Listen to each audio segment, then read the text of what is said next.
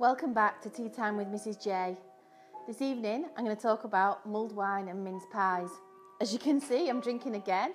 The mulled wine we've been mulling, I think is the word, I don't know, with oranges and cinnamon sticks and some herbs and spices. So I'm going to have one of these mince pies that have been made with an all butter short crust pastry. Just have a quick bite. Mm. It's lovely.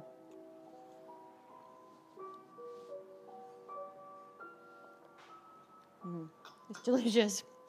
So come on down and join us at the tea rooms. We'll see you very soon. We've got mulled wine and mince pies for £4.50. Okay, see you soon.